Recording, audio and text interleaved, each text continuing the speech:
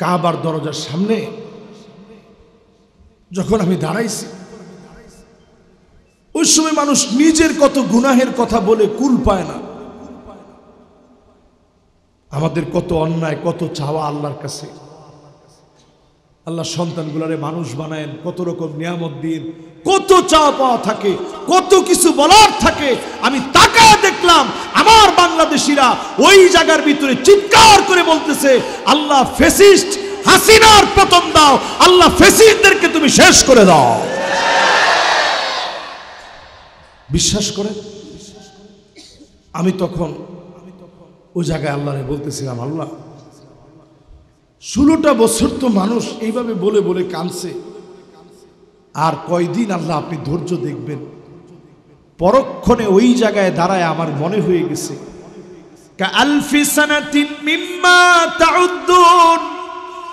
একদিন, দুদিন, তিন দিন, হাজার বছর গণার পরে আখেরাতের মাত্র আল্লাহ সময়ের মাত্র একদিন পার হবে। তার মানে ষোলোটা বছর আল্লাহর কাছে মাত্র কয়েক সেকেন্ডের মতো হয়েছে, ঠিক কিনা বলে? তোরা ক্ষমতায় ছিলি ক আল্লাহর কাছে কতক্ষণ? কয়েক সেকেন্ড! আল্লাহর কাছে কয়েক সেকেন্ড জালেমরা ক্ষমতায় ছিল। সেকেন্ডের ভিতরে জালেমদেরকে যিনি পতন দিয়েছেন, তিনি কে?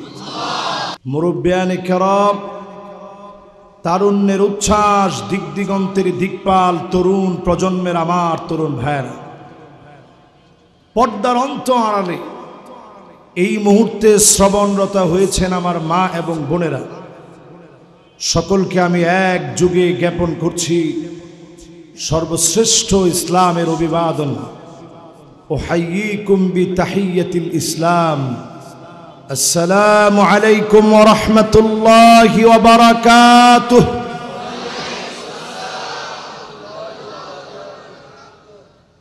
সবাই কেমন আছেন? যে মহান মালিক, দয়া করে, মায়া করে ভালোবেসে কোরআনের এই সুন্দরতম বাগান সাজি মাহফিলে এসে বসে কথাগুলা বলার এবং শোনার তৌফিক ভিক্ষাদান করলেন। অবনত চিত্তে মালিকের আলী শান দরবারে শকর গোজারি আদায় করছি। সকলে মিলে এক যুগে পড়ছি কালিমাতুর শকর, আলহামদুলিল্লাহ। দাঁড়িয়ে থাকা যত ভাই আছেন, বসা যতজন আছেন, আওয়াজকে বুলন্দ করে দিয়ে আরেকটা বার পড়েন, আলহামদুলিল্লাহ। আপনার খুশি না ভেজা? আল্লাহ যদি আরও বৃষ্টি দিতেন, আমরা কি বসতে পারতাম? ইনশাল্লাহ তো বলছেন। যদি স্প্যান্ডেলটা লন্ড বন্ড হয়ে যেত, আমরা বসতে পারতাম না। কিন্তু আল্লাহ আমাদেরকে বড় আদর করে একটু সময় দিয়েছেন।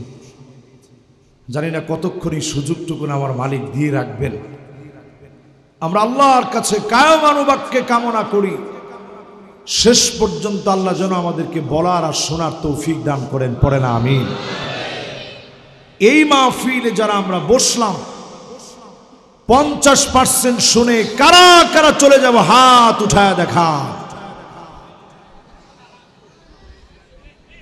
একজন ভাই এখনও হাত উঠে রাখছে। তাও যদি এক হাত হইতো আমি চিন্তা করতাম, দুই হাত উঠেস যে হুজুর, আমি শুধু যাবই না, আরেকজনকে সাথে করে নিয়ে যাব। আপনি কি পঞ্চাশ পার্সেন্ট শুনে চলে যাবেন? এত কষ্ট করে ঢাকা থেকে এসে শুধু অজুটা করেছি। প্রচণ্ড ক্ষুধাও লাগছে আমার। গলা দিয়ে বেশি আওয়াজ বের হচ্ছে না। গতকালকে চুনতির মাহফিল ছিল, উনিশ দিন ব্যাপী সেরাত মাহফিলের শেষ রজনীতে কালকে আলোচনা করেছি। লক্ষ লক্ষ লোক ওই মাহফিলে হয়েছে, আলহামদুলিল্লাহ। এবং গত রাতেই দুজন কালেমা পড়ে মুসলমান হয়ে গিয়েছে সুহান আমার জীবনের পরম পাওয়া। আমি যদি একটা বিএমডাব্লিউ পেতাম মার্সিডিস পেতাম অথবা রেঞ্জ রোভার ল্যান্ড ক্রুজার পেতাম। যতটুকুন না খুশি হতাম, এর চেয়েতে বেশি খুশি হয়েছি দুজন কালেমা পরে মুসলমান হয়েছে সুভান প্রিয় ভাইয়েরা আমার, সেই রাতেই সফর করে এসে তেমন কোনো রেস্ট করতে পারিনি। জুমার নামাজ পড়ায় ওয়াদা মাফিক বৃষ্টির ভিতরে কোনো রকম আস্তে আস্তে গাড়িটা চালায় চলে আসছি। আমি বিশ্বাস করি আল্লাহ আমাদেরকে একটু সময় দিবেন, ইনশাল্লাহ পড়েন।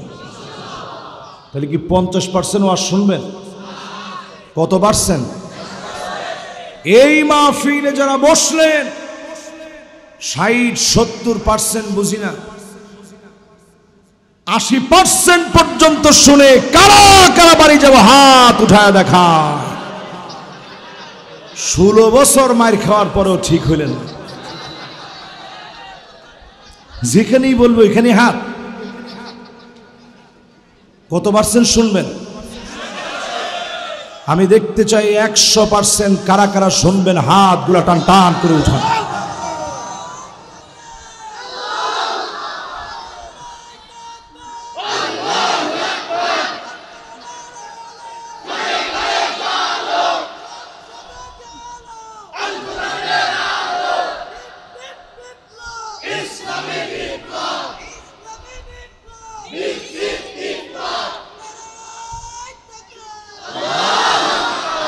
আপনারা খুশি না বেজা আগে তাকবির দিলি কয়েকজনের চোখ বড় হয়ে যেত।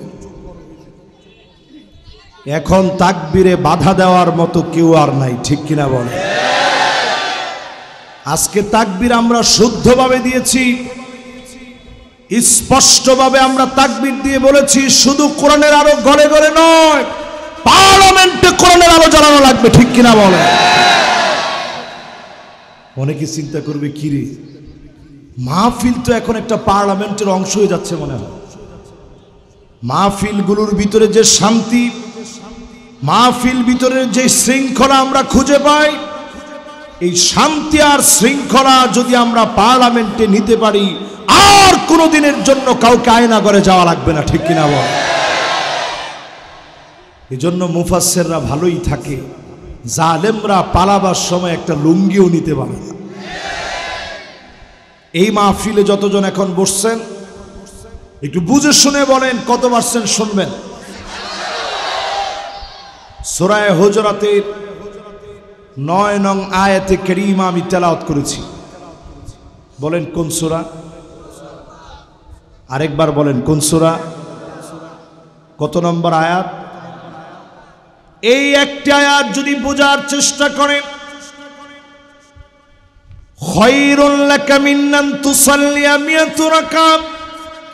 একশো রাকাত নামাজ পড়লে যেমন সব হবে। এর চাইতে বেশি সওয়াব বান্দার আমল নামায় আল্লাহ দিয়ে দিবে। খুশি না বেজার? এই সওয়াব নিয়ে বাড়ি যাব। আমাদের দেশে আবার সত্তর আশি রাকাত নামাজের অভ্যাস আছে।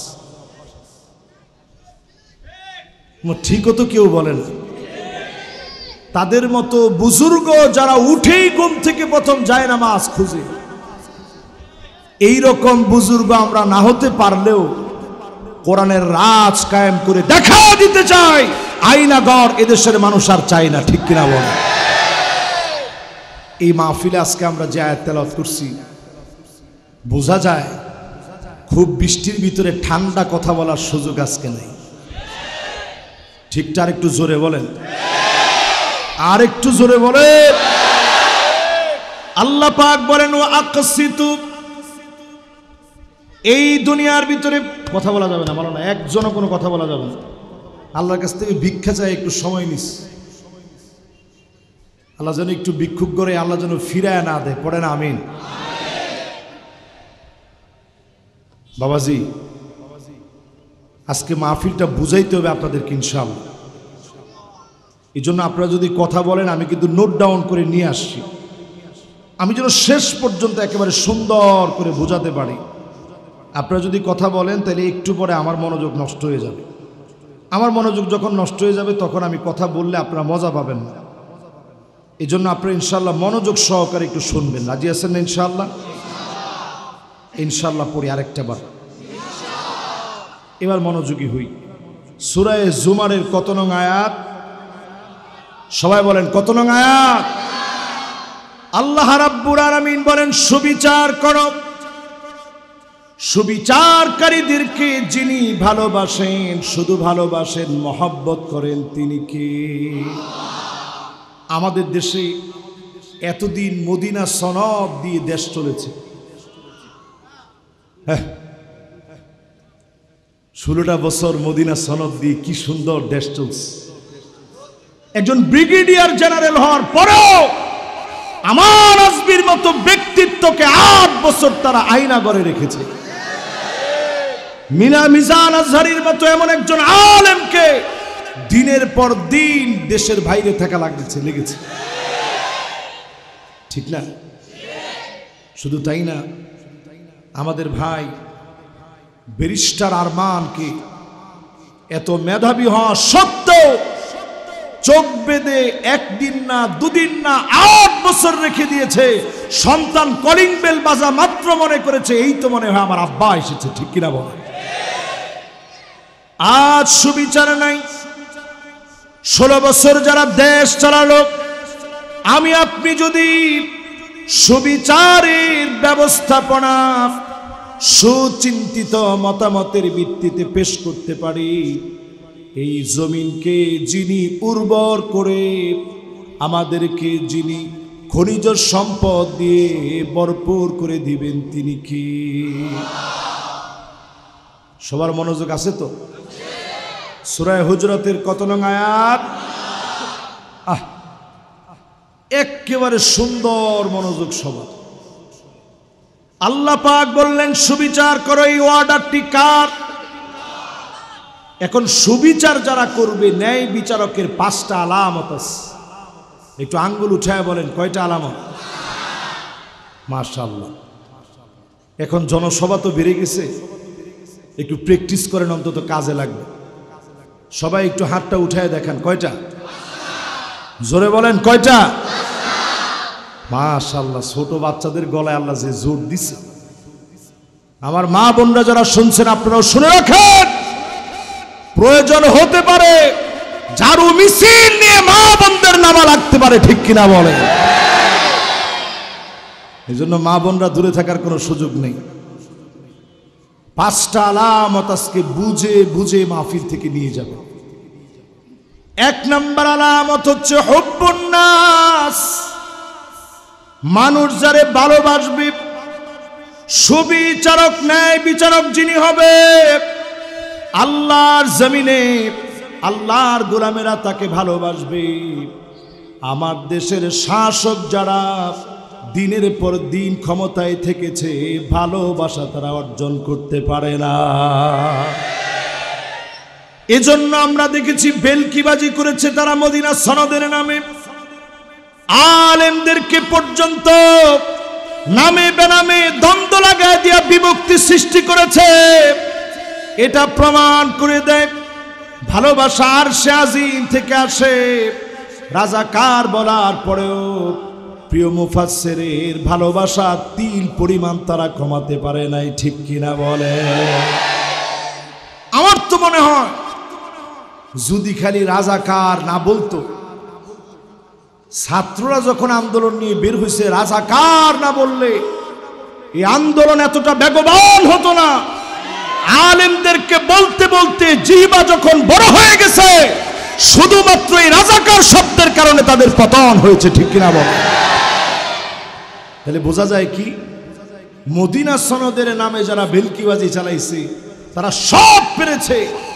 বিনা ভোটের এমপি মন্ত্রী হতে পেরেছে। মাগার তারা মানুষের ভালোবাসা অর্জন করতে পারে নাই, ঠিক কিনা বল? যদি ভালোবাসা অর্জন করতেই পারত, যেই মুক্তিযোদ্ধার সন্তানদের জন্য আপনি এত কিছু করলেন আজ অবধি মুক্তিযোদ্ধার সন্তানেরা আপনার জন্য একটা মিছিলও দিতে পারে নাই।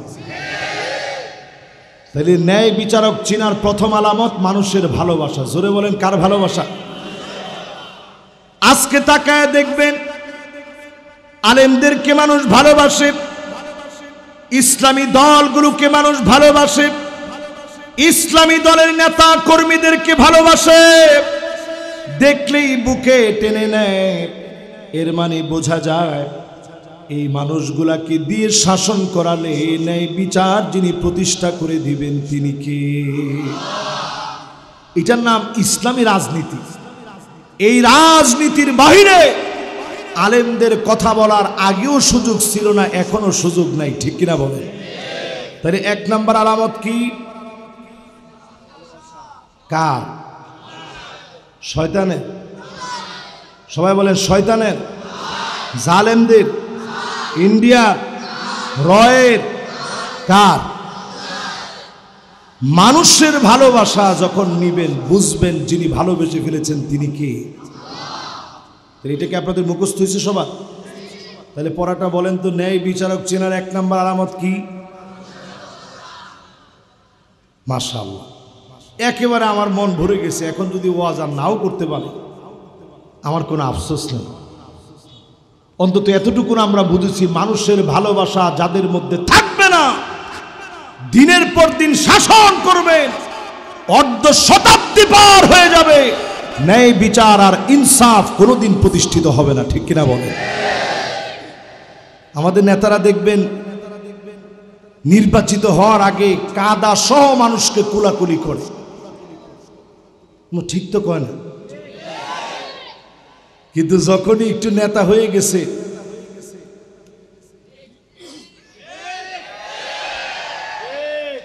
একটু আপনি মুসাফা করতে গেলে, ঠিক কিনা বলে আর আমার নবী, বিশ্ব নবী, ছোট বাচ্চাদের সঙ্গে মুসাফা করতেন। হাতটাকে বিশ্ব নবী টেনে নিতেন না। আল্লাহ নবী এত আদর করে কথা বলতেন। আগে তিনি বিনয় নিয়ে সালাম দিতেন। কপালের মধ্যে চুমু খেতে আল্লাহ নবী চেহারার দিকে মানুষ তাকায় থাকতো। আল্লাহ নবী মুস্কি মুস্কি হাসতেন। ক্ষুদা পেটে মানুষজন আসত। ক্ষুদার যন্ত্রণা আর তীব্রতা নবীকে দেখে ভুলে যেত বলেন আল্লাহ আকবার। সে নবীর জন্য মোহাম্মত সবার আছে তো ইনশাল্লাহ এক নম্বর আলামত কি? আরও জোরে। ন্যায় বিচারের জন্য এটা লাগবে। এবার দুই নম্বর আলামতে আসে হব্বু তাদাব্বুরিল কোরআন ওয়াসিমাইহি ওয়াতিলাওয়াতিহি কোরআন বোঝা লাগবে, অনুধাবন করা লাগবে, তেলাওয়াত করা লাগবে, অর্থ বোঝা লাগবে, কোরআনের শাসন কায়েম করা লাগবে। যেই লোকটা ন্যায় বিচার প্রতিষ্ঠা করবে, ওই লোকটা কোরআনের শাসনের পক্ষে কাজ করবে, ঠিক কিনা বলে? আমাদের দেশে নামকা অস্তে মদিনা সনদ দিয়ে দেশ চলেছে। এতগুলা বছর চলে গেছে। ষোলো বছর যারা শাসন করেছেন, কোরআনের একটা কি স্টাবলিশ আপনারা করেন নাই, ঠিক কিনা বলেন? সবাই তো ঠিক বললেন না, আপনারা কি আফসোস? না, চায়ের দোকানে এখন অনেকে বসে দেখবেন বলে, আগেই ভালো ছিল। ঠিক বলছে একজন। চায়ের দোকানে বসে যখনই শুনবেন, আগেই ভালো ছিল।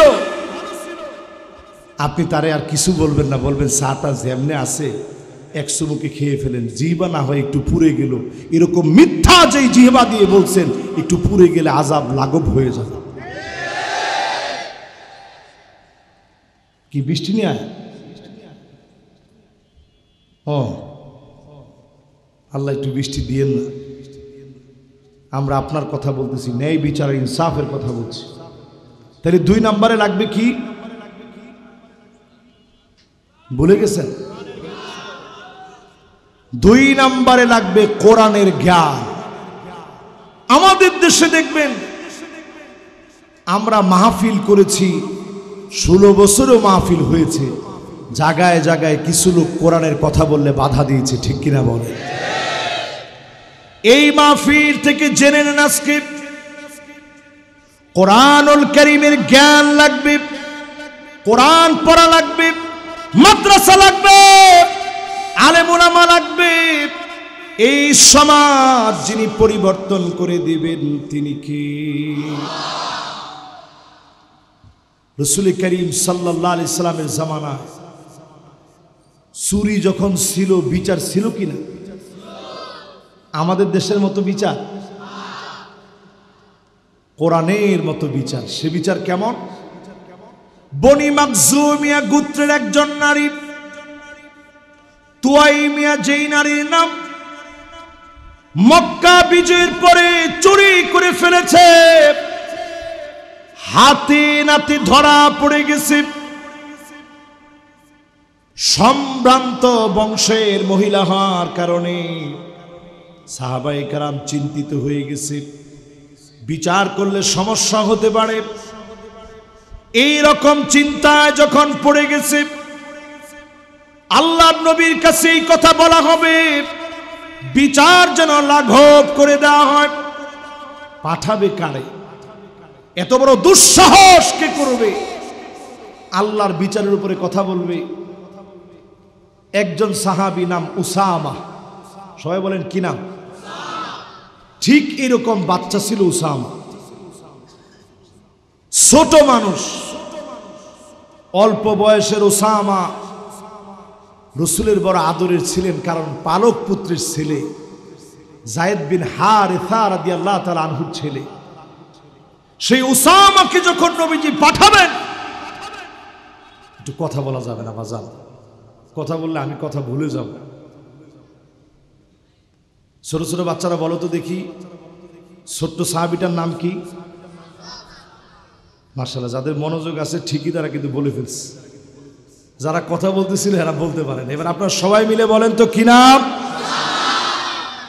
একশো পার্সেন্টের ভিতর থেকে আমি দেখতে পেয়েছি মাত্র একটা লোক একশো পার্সেন্ট থেকে কালো গেঞ্জি একজন যাওয়ার চিন্তা করছিল, এখন দাঁড়ায় গেছে।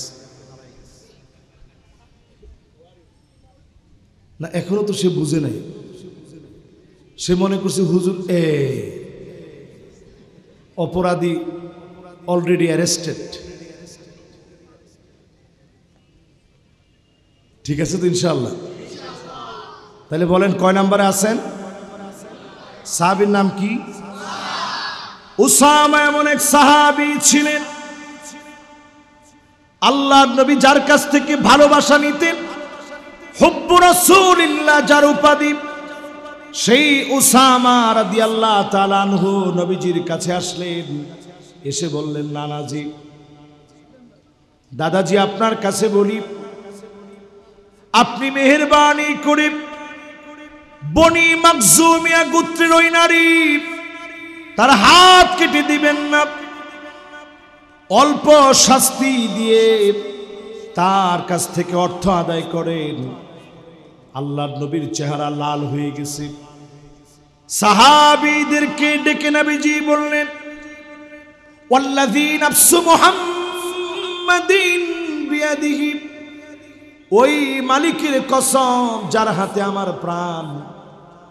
লাউ ফাতেমা বিনতে মুহাম্মদ, লাসারাকাত লাকাতাতু ইয়াদাহা, আমার কলিজার টুকরা ফাতেমা যদি চুরি করে ফেলতো, হাত কেটে দিতে দেরি করতাম না। আমার মেয়েকে যদি দেরি না করি, বনি মাকজুমিয়া গোত্রে, তুয়াই মিয়ার মতো কোন নারীর জন্যে আল্লাহর কোরআনের বিধান পরিবর্তন হবে না। জোরে কোন আল্লাহ আকবার। শুধু তাই না অমর রাদি আল্লাহ তালানহু বিচার চাইতে গেলেন। সেই সময়ের বিচারক ছিলেন সুরাই সুরাই ষাট বছর তিনি বিচারকের দায়িত্ব পালন করছেন, জোরে আল্লাহ আর ষোলো বছরে আমাদের বিচারপতি মানিককা তার গলার ভিতরে গামছা লাগায়া গরুকে মানুষ যখন একটু টান দেয়, মায়া মহব্বত করে টানে মানিককারে যখন টানছে আমাদের প্রশাসনের লোক জিজ্ঞাসা করে তোর নাম মানিক্কা না আহ, আমি এই মানিককা জীবনও বলতাম না। কেন বলছি জানেন?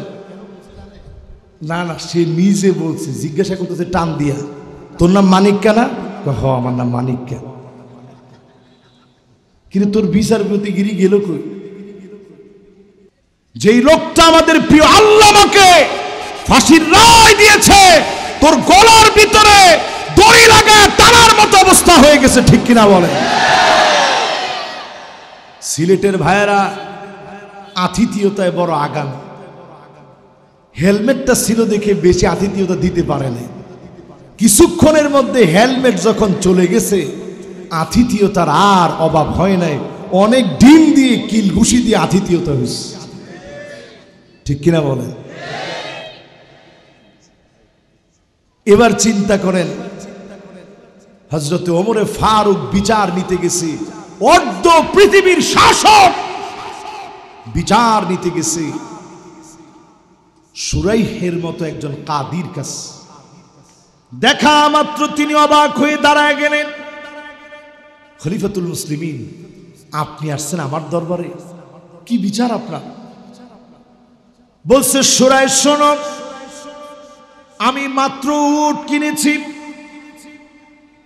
উটটা কেনার সময় সুস্থ ছিল লোকটা, ধোকাবাজি করেছে। একদিনের মধ্যে উট অসুস্থ হয়ে গেছে। আমি এই উট নিব না, ফেরত দিতে বলো। সুরাই সঙ্গে সঙ্গে বললেন, খালিফাতুল মুসলিমিন, মন খারাপ করবেন না। আমার কাছে বিচার চাইতে এসেছে। এই লোকটা সাধারণ লোক, যার কাছ থেকে আপনি কিনলেন আপনি শুধু জবাব দেন। বিচার আপনার পক্ষে হবে। আগামী একদিন আপনি সুস্থ থাকবেন, আপনি নিশ্চয়তা দেন। রায়টা আমি আপনার পক্ষে করে দেব। হাজরাতে ওমর চোখে পানি নিয়ে আল্লাহর শুক্রিয়া আদায় করতে করতে চলে আসলেন। জোরে বলেন, আল্লাহ আকবার। বিচার কি ওমরের পক্ষে না বিপক্ষে? আরে কথা বলে বিপক্ষে রায় দেওয়ার পরে ওনাকে আরও পজিশন বাড়ায় দিলেন। শেষদায় গিয়ে দোয়া করলেন, এমন কাজই যদি আমার রাষ্ট্রে থাকে, এই রাজ্য চালাতে অসুবিধা হবে না। আর মানিক্যার মতো এমন চোর ডাকাতগুলা যদি বিচারপতি হয়, মরে গেলে আলহামদুলিল্লাহ বলে মানুষ খুশি হবে, ঠিক কিনা বলে? কথা কি আমি বুঝাইতে পারতেছি সবাই তাহলে ন্যায় বিচারক চিনার আলামত কয়টি? পাঁচ নম্বরের এক নম্বর কি? লিল্লাহে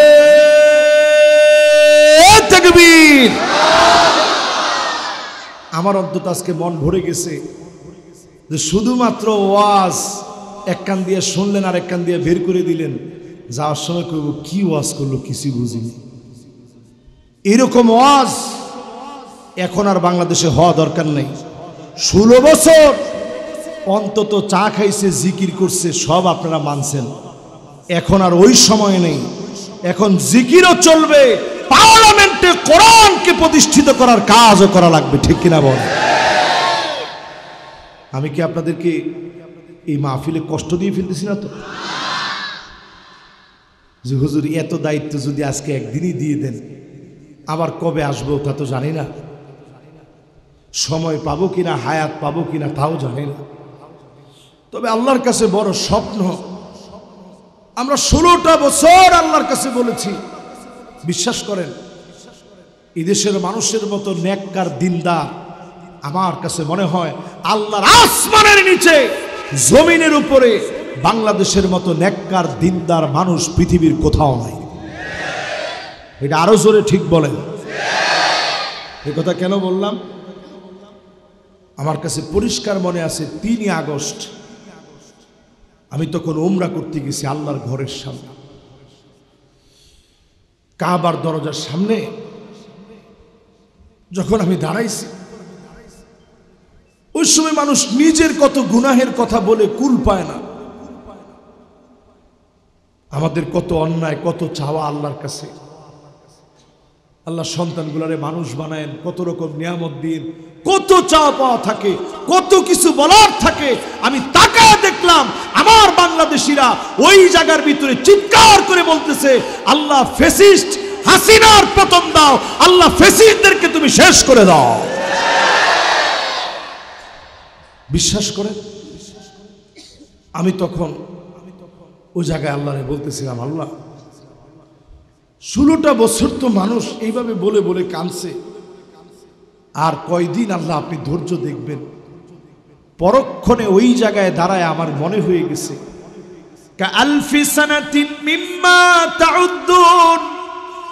একদিন, দুদিন, তিন দিন, হাজার বছর গণার পরে আখেরাতের মাত্র আল্লাহ সময়ের মাত্র একদিন পার হবে। তার মানে ষোলোটা বছর আল্লাহর কাছে মাত্র কয়েক সেকেন্ডের মতো হয়েছে, ঠিক কিনা বলে? তোরা ক্ষমতায় ছিলি ক বছর?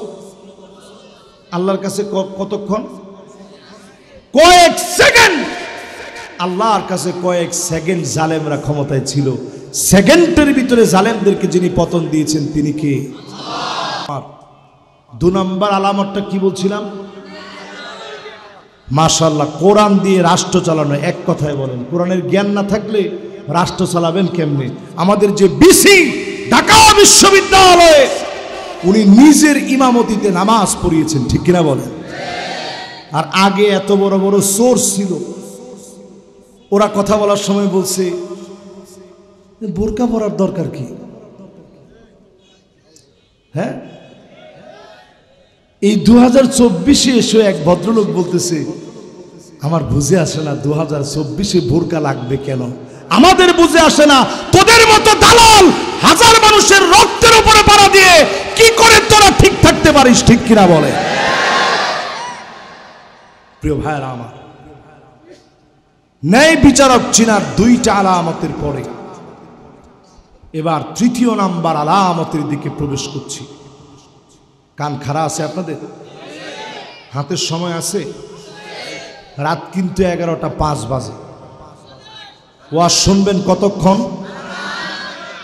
লিল্লাহে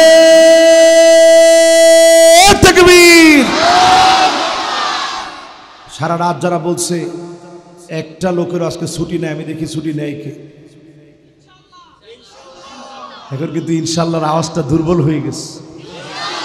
না, আমি সারা রাত না, আর ঘণ্টা খানিক আপনাদেরকে একটু কষ্ট দেবো ঘণ্টা খানিক ঠিক আছে তো ইনশাল্লাহ তবে এই ঘণ্টা খানিক যা যা বলব একেবারে পড়ার মতো আপনারা মুখস্থ করে নেবেন, পারবেন না ইনশাল্লাহ দুই নাম্বার গেছে, এবার কয় নাম্বার? তিন নাম্বার রাষ্ট্র পরিচালনায় আল্লাহ নবী যেই নীতি আদর্শ অবলম্বন করেছেন ওই নীতি আদর্শ অবলম্বন করা লাগবে। একজন ন্যায় বিচারক আল্লাহ নবীর আদর্শ মেনে চলবে, ঠিক কিনা বলে? এবার আমাদের দেশের ন্যায় বিচারকদের দিকে একটু তাকায় দেখেন। এত সুন্দর সুন্দর বিচারক ছিল, লম্বা লম্বা কথা বলছে। নিজেদেরকে ন্যায় বিচারক বলছে। স্কাইপি কেলেঙ্কারি থেকে শুরু করে গাটাগাটি করে দেখেন এদের কারোই শরীরের মধ্যে তেমন কাপড় ছিল না। ওই ভিডিও মানুষের কাছে আছে, ঠিক কিনা বলে? এগুলো চরিত্রহীন লম্পট। যেই লোকটা আমাদের দেশের কত কত মানুষকে ডিবি কার্যালয়ে নিয়ে মাঝে মাঝে ভাত খাওয়াইছে। আরে এগুলা নাম নিয়ে লাভ নেই তো। কত মানুষ মাঝে মাঝে নিয়ে মেহমানদারি করছে আরে সেই ভাতের হোটেলের মধ্যে হঠাৎ করে একটা ভাটা পড়ে গেছে। ব্যবসায় এমন লস হয়েছে এখন আর সেই ভাতের হোটেলের মালিককে খুঁজে পাওয়া যাচ্ছে না। বাপরে বাপ, কি সুন্দর সুন্দর লম্বা লম্বা কথা। আজকে মানুষগুলোর দিকে তাকায় দেখেন। এই মানুষগুলো তো সেই মানুষগুলো যারা আলেমদের কাপড় খুলে ফেলতে, ঘণ্টার পর ঘণ্টা টানা রাখতে অর্ডার দেওয়ার পরেও সামান্য চিন্তিত আর হতাশাগ্রস্ত হতো না, ঠিক কিনা বলে এখন তোরা কই? ওই এক পার্কের ভিতরে বসে কয়েকজন মিলে একটু চা খাচ্ছিল।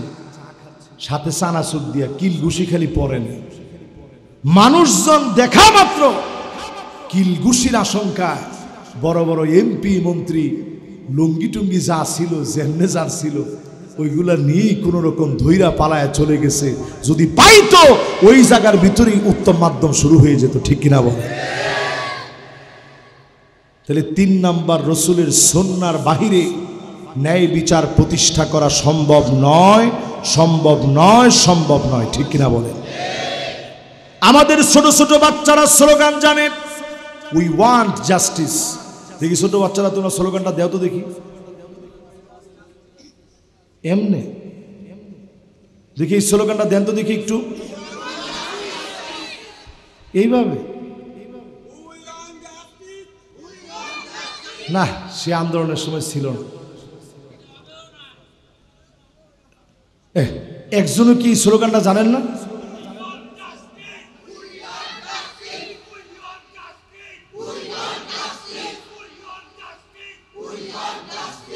ও ছিল কিন্তু একটু পরে। মানে ও চার তারিখে চিন্তা করছে, আল্লাহ এখন যাওয়াই লাগবে, না গেলে তো মনে হয় জাতির কাছে জবাব দিতে পারব না। মাশাল্লাহ আগের থেকে যারা গেছেন, কেউ কেউ বলছে উই ওয়ান অন্যরা কইছে জাস্টিস এভাবে জানতো দেখি?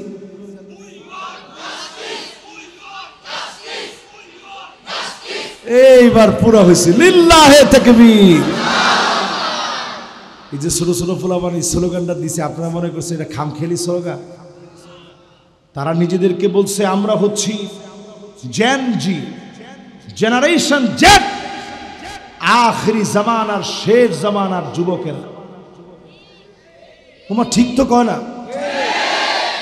শেষ জামানার যুবক, এদের হাতেই কালো পতাকা উড়বে, এদের হাতেই কালেমার পতাকা আসবে এরাই ইমাম মাহাদির সৈনিক হবে।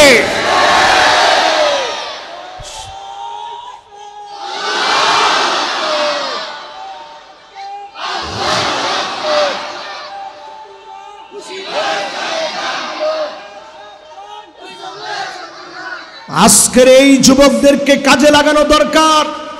তারা যেই স্লোগান দিয়েছে উই ওয়ান্ট জাস্টিস আজকে প্রত্যেকটা মসজিদের খুতবায় খতিব সাহেব একই কথা বলছে। ইন্নাল্লাহা ইয়ামুরু বিল আদলি ওয়াল ইহসান ওয়া ইতাই দিল কুরবা ওয়া ইয়ানহা আনিল ফাহশাই ওয়াল মুনকারি ওয়াল বাগি। ইয়াইদুকুম লাআল্লাকুম তাযাক্কারুন। বলছে পরে আপনারা কি করছেন? অনেকে ঘুমাইতেছিল, পাশের একজন ঠেলা দিয়ে কইছে উঠেন তাড়াতাড়ি। তখন আপনারা তাড়াতাড়ি উঠছেন। আসলে খতিব সাহেব বলছে, এটা কোরআনের আয়াত। কি বলছে? আল্লাহ পাক আদালতের কথা বলছে, ও যুবকেরা, তোমরা কান খাড়া করে শুনে নাও, পৃথিবীর কোন পুঁজিবাদ, লেনিনের মতবাদ মাউসেতুংয়ের মতবাদ, কোন মতবাদ একটা মিনিটের জন্য আদালত দিতে পারে না পারে না পারে না। আদালত যদি পেতে হয়, কোরআনের কাছে আসতে হবে।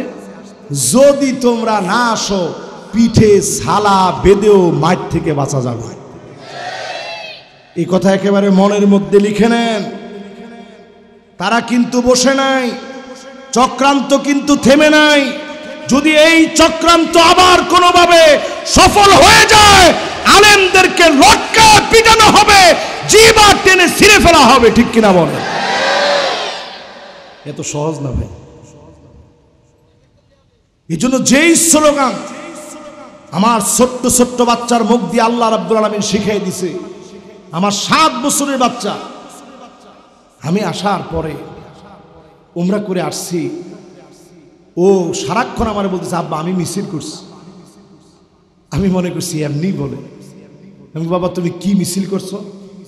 বাবা, আমি মিছিল করছি উই ওয়ান্ট জাস্টিস আমি চিন্তা করলাম, আল্লাহ, এই স্লোগান তো আপনি, যেই ছেলেগুলো টিকটকে আসক্ত হয়ে পড়েছিল, ফ্রি ফায়ার পাবজিতে আসক্ত হয়ে পড়েছিল, এদেরকে এর ভিতর দিয়ে আপনি কেমন করে একটা মানসিকতা তৈরি করে আদালতের কথা, জাস্টিসের কথা ঢুকায় দিয়ে কোরআনের রাজ কায়েমের পথকে উন্মুক্ত করে দিয়েছেন। জোরে বলেন, আল্লাহ আকবার।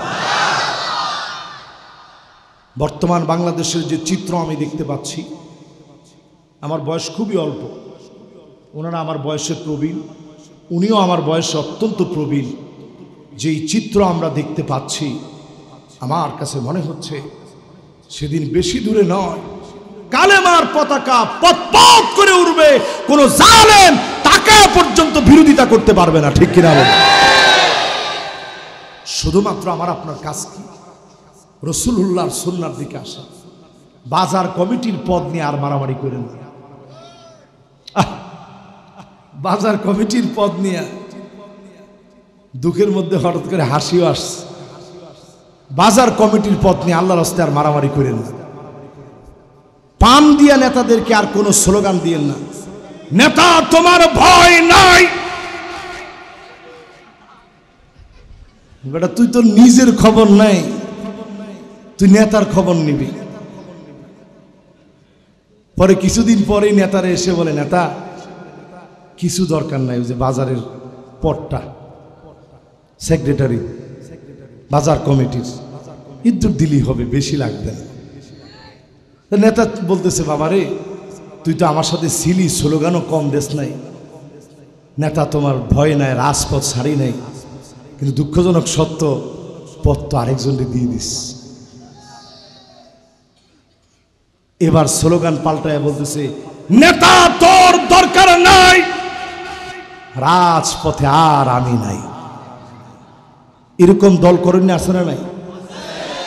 এই রকম পদের জন্য যারা দল করবেন, ইসলামী দলগুলোর ভিতরে দায়িত্ব দিলে চোখের পানি পড়তে পড়তে বেহুশ হয়ে যাওয়ার অবস্থা। আর বাজার কমিটির একটা পদের জন্য আপনি এত পাগল? ঠিক কইছে একজন। আর একটু জোরে বলেন। রসল্লাহ সাল্লাহ ইসলামের সাহাবিদেরকে যখন দায়িত্ব দেওয়া হতো, পাগলের মতো দৌড়ে পাহাড়ের উপরে চলে যেতেন। বলতেন, এই দায়িত্ব আমি কেমনে নিব? এই দায়িত্ব আমি কেমনে পালন করব? এই দায়িত্বের বোঝা কেমন করে কাঁদে নিব? আর আমাদের দেশে বাজার কমিটির নামে মারামারি হওয়ার পরে পাঁচ পাঁচজন খুন হয়ে গেছে। বাজার কমিটি। এর মধ্যে আবার বাজারের ভিতরে কয়েকটা ভাগ, মাছের বাজারের একটা কমিটি, সবজি বাজারের আরেকটা। এই সমস্ত টেন্ডারবাজিতে গিয়ে যারা মারা যাবেন, পদের জন্য যারা দল করবেন, সই বুখারির হাদিস, রসুল নিজে বলছে ও ইল্লাম ইয়াফিলাহু যারা পদের জন্য দল করবে, নেতার কাছে গিয়ে বলবে, নেতা, আপনার সাথে আসি পদ নাই, আমি নাই। রসুল বলতেছে, লা ইউকাল্লিমুহুমুল্লাহ। আল্লাহ কথা বলবেন না। ওলা ইউজাক্কিহিম দয়া দেখাবেন না। ওলা ইয়ানজুরু ইলাইহিম, এক নজর তাদের দিকে তাকাবেনও না, জোরে কোন, নাউজুবিল্লাহ। তাহলে আজকে থেকে দল করবেন পদের জন্য। কার জন্য? জোরে আওয়াজ করে আঙ্গুল উঠায় বলেন, কার জন্য? হিম্মত নিয়ে বলেন, কার জন্য? এবার আঙ্গুলগুলো নামান। আপনাদের কষ্ট হচ্ছে না তো ভাই? আর বেশিক্ষণ না, অল্প কিছুক্ষণ একটু কষ্ট দিব। ওমা, ওয়াজ এত লম্বা শুনলে মনে থাকবে? তাহলে বলেন, এক নাম্বার কি? দু নাম্বার? মার্শাল্লাহ তিন নাম্বার? আগে আপনারা দেখতেন মাহফিলের ভিতরে অনেকে আইসা বাধা দিত কোরআনের কথা বলতে গেলে। এখন আপনারা বাধা দিবেন, যেই মাহফিলের ভিতরে নাচানাচি হবে, সাথে সাথে আপনারা বলবেন, বন্ধ করেন, প্রয়োজনে কোরআন দিয়ে মাহফিল করবেন, নতুবা এই মাহফিল চলার কোনো দরকার নাই। ঠিক কিনা বলেন? মাহফিলের ভিতরে এসে বক্তা পা উঠায় ফেলছে। উঠায় কয়, আজকে আমি খেলা দেখাবো। কি খেলা দেখাবি? সাপের খেলা? এরকম বলার সাথে সাথে বলবেন যে, হুজুর, এটা দু হাজার চব্বিশের আগস্টের পাঁচ তারিখের পর। এখন আর সাপের খেলা দেখার জন্য আল্লাহ আপনি বৃষ্টিটা দিয়ে না। একটু আল্লাহ ডাক দিয়া বলেন আল্লাহ হোম্মা হাওয়া আলাইনা ওয়ালা আলাইনা।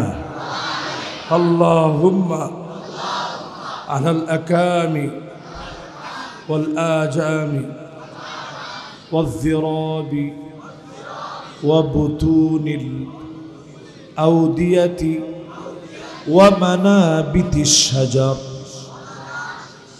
আল্লাহ এতগুলা মানুষের ভিতরে যার একটা আমল আল্লাহ আপনার পছন্দ লাগছে একটা আমল আপনার জন্য করছে বলে মনে হয়েছে ওই আমলটার বিনিময়ে আল্লাহ আজকে আমাদেরকে একটু সুযোগ দেন এই জমিনটাকে আমরা উর্বর বানাতে চাই অনেক দিন আল্লাহ মন খুলে কথা বলতে পারি নাই। আল্লাহ এখন যে সুযোগ আপনি দিছেন, একটু মেহরবানি করে আল্লাহ কথা বলার সুযোগটুকু দেন পরে না আমি প্রিয় ভাইয়েরা আমার, বলছিলাম কত নাম্বার? তিন নাম্বারে। কোথায় জানি গেছিলাম?